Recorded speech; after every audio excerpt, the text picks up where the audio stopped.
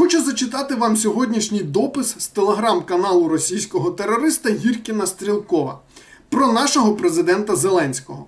Настала війна. Пан Зеленський нікуди не втік, у бункер не сховався, оголосив, запустив та провів загальну мобілізацію, досяг масованих поставок зброї від НАТО, навколо пальця обвів кремлівських партнерів з деескалацією, отримавши багато чого і не виконавши зі свого боку нічого. Твердо і впевнено оголосив про цілі війни і так само твердо навіть умови переговорів про перемир'я.